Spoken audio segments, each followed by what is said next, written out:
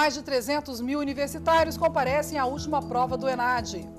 Representantes e acadêmicos do Brasil e do exterior se reúnem para discutir melhoria no Sistema Único de Saúde.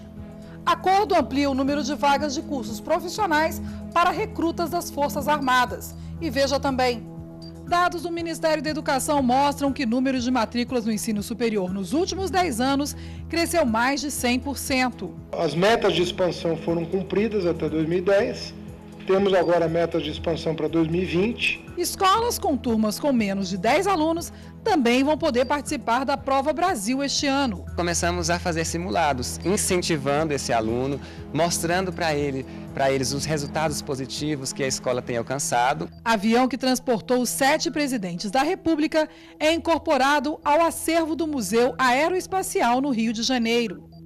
O NBR Notícias começa agora.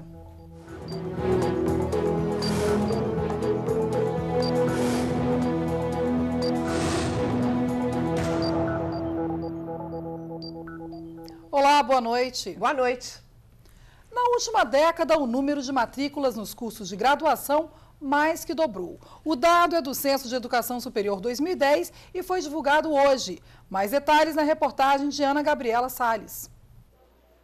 O número de matrículas nos cursos de graduação mais que dobrou na última década. Cresceu 110% de 2001 a 2010. O Censo da Educação Superior 2010, realizado pelo Instituto Nacional de Estudos e Pesquisas Educacionais Anísio Teixeira, o INEP, mostra que no ano passado havia mais de 6 milhões 370 mil alunos matriculados em 29.507 cursos presenciais e à distância oferecidos por mais de 2 mil instituições de ensino superior, públicas e privadas. 14,6% do total de matrículas são em cursos à distância, segundo a pesquisa, o aumento na oferta desta modalidade foi uma das causas do crescimento. A educação à distância vem se mostrando é, importante para muitas pessoas que na idade é, que pode se considerar talvez a mais adequada, não há idade para estudo, mas a mais adequada em termos de ingresso à universidade. Então eu considero que é importante sim também cresceu o número de universitários nas regiões Norte e Nordeste. Hoje, o Norte responde por 6,5% das matrículas e o Nordeste por 19,3%, superando a região Sul. A região Sudeste concentra o maior número, com 48,7% dos matriculados, e o Centro-Oeste aparece com 9,1% das matrículas. As instituições federais também dobraram o número de ingressos nos últimos 10 anos, superando a meta de acordo com o ministro Fernando Haddad. Passaram de 143 mil em 2001 para 302 mil em 2010, um crescimento de 110%. Os professores universitários estão mais qualificados. Quase metade dos docentes das instituições públicas apresentaram doutorado em 2010. Em 2001, menos de 40% tinham título. 80% deles também passaram a ter dedicação exclusiva nas instituições. O censo revela ainda que a maioria dos estudantes são mulheres, com 57% das matrículas. Além disso, os alunos estão mais jovens. No ano passado, metade dos universitários de cursos presenciais tinha até 24 anos. As metas de expansão foram cumpridas até 2010. Temos agora metas de expansão para 2020, com o novo Plano Nacional de Educação o perfil docente alterou, se alterou substancialmente para melhor, né? tanto do ponto de vista de titulação como, como do ponto de vista de regime de trabalho. Uh, se nós mantivermos essa, uh, esse ritmo de incremento das matrículas, nós vamos superar as metas previstas no próprio projeto de lei, portanto, são metas factíveis, né? E mais de 6 milhões de estudantes fazem até o dia 18 deste mês mais uma edição da Prova Brasil. O teste é aplicado em 71 escolas para alunos do quinto ao nono ano do ensino fundamental e a terceira série do ensino médio. As notas da avaliação servem para compor o Índice de Desenvolvimento da Educação Básica, o IDEB. Neste centro de ensino do Distrito Federal, 135 crianças da quarta série do ensino fundamental fizeram a prova. É o quarto ano que a escola aplica o exame e está entre as 10 melhores do país no Índice de Desenvolvimento da Educação Básica. O resultado da prova no último ano foi uma nota de 6,2 e já ultrapassou a meta estabelecida para 2021, que era de 5,8. Resultado alcançado com estímulo. Nós começamos a fazer simulados, incentivando esse aluno, mostrando para ele, para eles os resultados positivos que a escola tem alcançado e o professor ele vai é, pegar essa avaliação e vai corrigir com os alunos. O objetivo é que o aluno detecte o erro e, a partir do erro, ocorra aquela aprendizagem significativa. A novidade deste ano da Prova Brasil é que os municípios que têm escolas rurais e urbanas com no mínimo 10 estudantes matriculados em turmas regulares do quinto ano do ensino fundamental poderão participar do exame. Essa edição especial contempla municípios com reduzida população escolar e que ainda não têm índice de desenvolvimento da educação básica, o IDEB. Para que os estudantes desses municípios façam a prova, a prefeitura precisa aderir ao exame. Além da adesão, a escola deve ter pelo menos 20 alunos matriculados na série a ser avaliada. A Prova Brasil é um dos itens que definem o IDEB por escolas, redes de ensino, estados e nível nacional. Nos últimos quatro anos, o IDEB cresceu em todas as etapas da educação no país. No quinto ano do ensino fundamental, o indicador saltou de 3,8 para 4,6. No nono ano, passou de 3,5 para 4. E no ensino médio, subiu de 3,4 para 3,6. A meta é alcançar o índice de 5,2. Utilizado para medir a qualidade da educação oferecida pelas instituições de ensino superior, públicas e privadas do Brasil, o ENAD, Exame Nacional de Desempenho dos Estudantes, realizado no domingo, levou mais de 300 mil alunos de todo o país às salas de aula para responderem questões referentes a conhecimentos gerais e a conteúdos dos cursos acadêmicos. De acordo com o INEP, 81% dos alunos inscritos compareceram às provas do ENAD neste domingo, pouco mais de 304.400. A maior abstenção foi dos estudantes dos cursos de Ciências Sociais. 1.356 municípios aplicaram o exame para concluintes de 8.800 cursos de graduação oferecidos por instituições de educação superior, públicas e particulares. O ENAD é obrigatório e faz parte do sistema Sistema Nacional de Avaliação da Educação Superior. Eu acho que ele é muito importante não só para a faculdade, mas como para o aluno também, né? É uma forma de a gente saber como a gente está preparado, se realmente a gente está preparado para o mercado de trabalho. Né? Muito importante, porque vai avaliar o desempenho da faculdade né, e vai valorizar ainda mais o nosso diploma. Claro que é importante, nossa, tem que fazer, é importante que todos os alunos também se conscientizem que tem que fazer, né, que é necessário tanto para o aluno saber se conhe o nosso conhecimento, tudo que nós estudamos, e também a, o estudo para a faculdade também, muito bom. Então, creio que, espero que todos os alunos também tenham esse, esse mesmo pensamento que eu. Alguns correram para não perder a prova, minutos antes do fechamento dos portões. Mas quem chegou atrasado e não fez o ENAD fica agora em situação irregular e não vai poder obter o diploma de conclusão de curso neste semestre. Tomou posse hoje como presidente da Anatel o conselheiro João Batista de Rezende. João Rezende é membro do conselho diretor da Anatel e substitui Ronaldo Sardenberg, que estava à frente da agência desde 2007.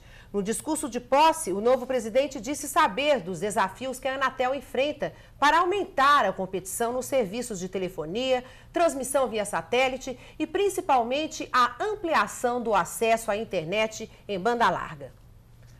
E você vai ver a seguir: Brasil vai sediar pela primeira vez a reunião anual do grupo que trata dos desastres nas Américas e no mundo. E avião que transportou sete presidentes da República é incorporado ao acervo do Museu Aeroespacial do Rio de Janeiro. Está disponível no portal do Ministério da Educação a coleção História Geral da África. A tradução da obra para o português foi realizada em parceria com a Unesco e a Universidade Federal de São Carlos. São quase 10 mil páginas de história. Conta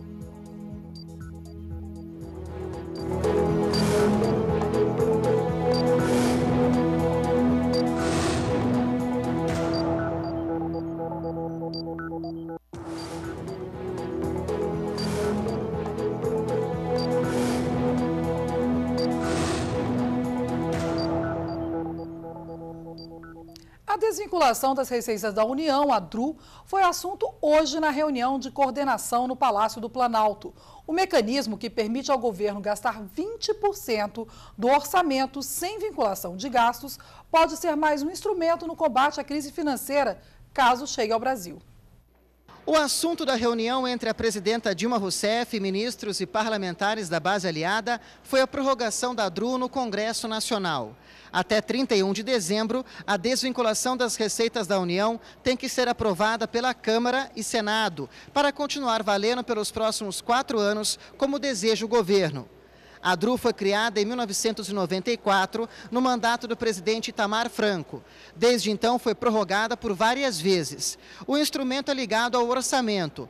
Permite ao governo utilizar 20% das receitas com impostos de forma livre em qualquer área, programa ou projeto. Na reunião de coordenação política na manhã desta segunda-feira, aqui no Palácio Planalto, a presidenta Dilma Rousseff comentou que a prorrogação da DRU é fundamental neste momento de crise econômica na Europa. Seria um instrumento a mais para o Brasil colocar em prática no caso da turbulência chegar ao país. Com a prorrogação, a DRU pode ser somada a outros fundamentos sólidos da economia, como a geração de empregos e os 350 bilhões de dólares que estão em caixa e funcionam como uma barreira de proteção contra crises. Um momento principalmente como este, de crise né, internacional, que deverá se prolongar aí por não, não apenas 2011 e 2012, mas com certeza para outros anos, permitirá ao governo brasileiro ter uma condição a mais né, de poder enfrentar esta crise de forma mais soberana,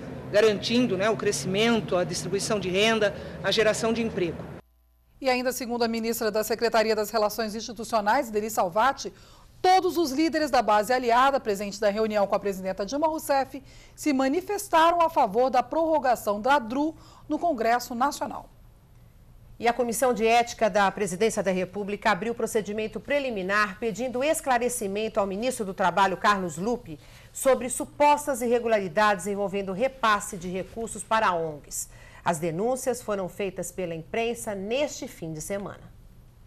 A presidenta Dilma Rousseff falou nesta segunda-feira no programa semanal Café com a Presidenta sobre a proposta da Organização Internacional do Trabalho de criar o Piso Mundial de Proteção Social para as famílias extremamente pobres, as mais afetadas pela crise financeira mundial.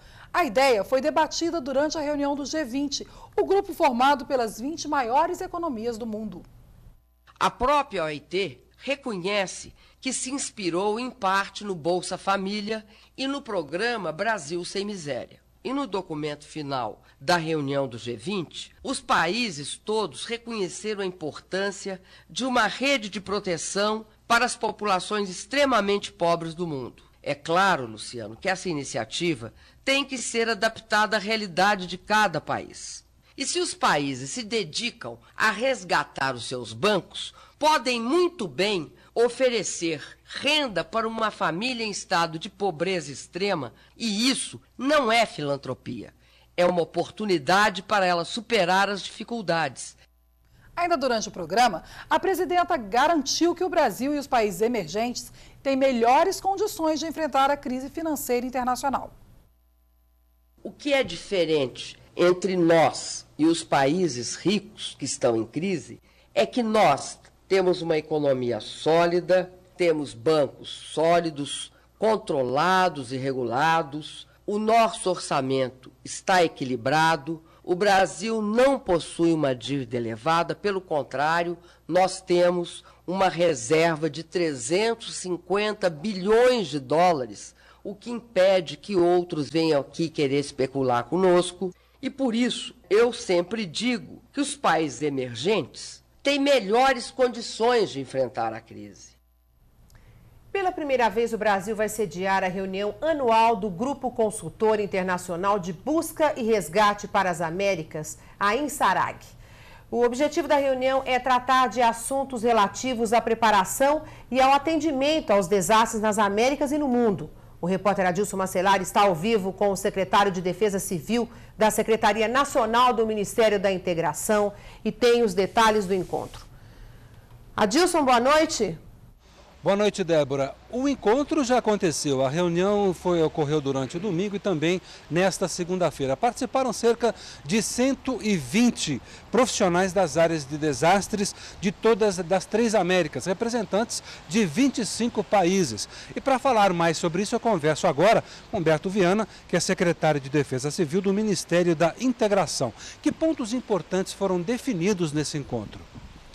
O que nós julgamos mais importante no momento é o fato de que o governo brasileiro passa a fazer parte da INSARAG, que é um conjunto de países, uma rede formada sob a coordenação da ONU, que presta serviço de resgates, busca e salvamento.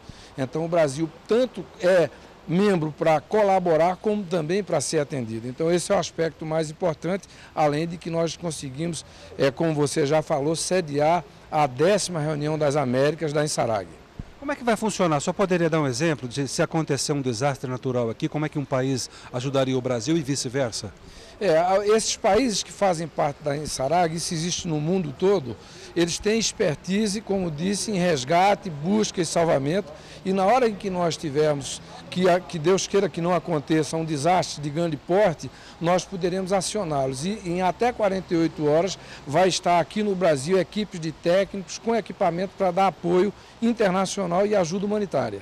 A mesma coisa se acontecer com o país vizinho, o Brasil tem condições de prestar esse auxílio. Esse é o compromisso do governo brasileiro.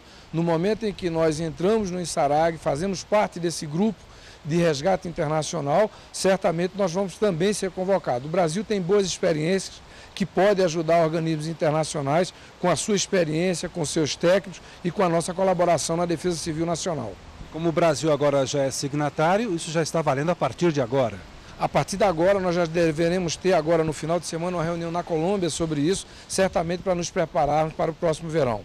Muito obrigado pela sua participação e pelas informações aqui ao NBR Notícias. Débora. Obrigada, Dilson. Depois de 34 anos de uso, a aeronave 737 da Força Aérea Brasileira, conhecido como Sucatinha, foi levada hoje para o Rio de Janeiro, onde será incorporada ao acervo do Museu Aeroespacial. O avião apoiou o transporte de sete presidentes da República. O Boeing 737-200, que fez hoje o último voo, foi adquirido pela FAB em 1976. Com autonomia de voo de 6 horas e velocidade de até 747 km por hora, o avião operou durante 34 anos a serviço da Presidência da República. Nesse período, a aeronave transportou sete presidentes: Ernesto Geisel, João Figueiredo, José Sarney, Fernando Collor, Itamar Franco, Fernando Henrique Cardoso e Luiz Inácio Lula da Silva. O avião foi substituído no ano passado e levado hoje para o Rio de Janeiro, onde vai ficar exposto no Museu Aeroespacial. E veja a seguir, representantes e acadêmicos do Brasil e do exterior se reúnem para discutir melhoria no Sistema Único de Saúde. Aumenta o número de vagas de cursos profissionais para recrutas das Forças Armadas. Uma maneira de integrar, é, por isso mesmo se chama soldado cidadão, aquela pessoa que fez o serviço militar na sociedade, integrá-la de maneira produtiva. O Comitê de Gestão de Tecnologia da Informação disponibiliza na internet o Plano Diretor de Tecnologia da Informação. O documento reúne as ações que deverão nortear os investimentos entre 2011 e 2014, buscando aprimorar a governança de TI na Presidência da República. O plano está disponível na internet.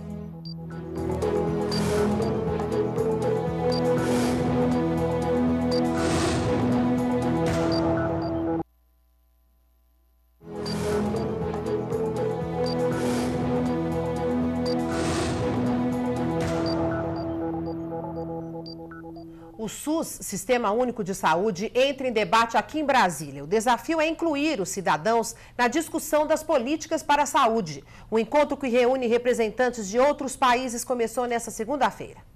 O Sistema Único de Saúde foi criado com a Constituição de 1988.